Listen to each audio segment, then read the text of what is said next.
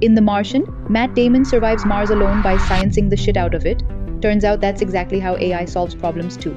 Mark Watney was stranded on a planet with no food, no communication, and no rescue coming.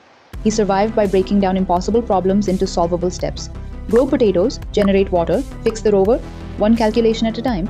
That's exactly how modern AI works. When SpaceX's AI lands a rocket, it's not figuring it out, it's running millions of micro calculations per second, adjusting thrust, angle, velocity, breaking an impossible landing into thousands of solvable moments, just like Watney growing food on a dead planet. NASA now uses AI for Mars missions because humans can't react fast enough. Communication delay to Mars? 22 minutes round trip. By the time you say avoid that rock, the rover's already crashed. So AI makes every decision autonomously navigation, sample collection, emergency protocols. It sciences the shit out of problems in real time. The movie showed one human solving problems alone for 500 sols.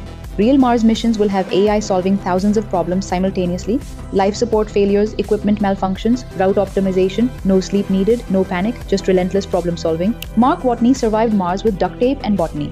Future missions will survive with AI that never stops calculating. Turns out the best astronaut for Mars isn't human at all.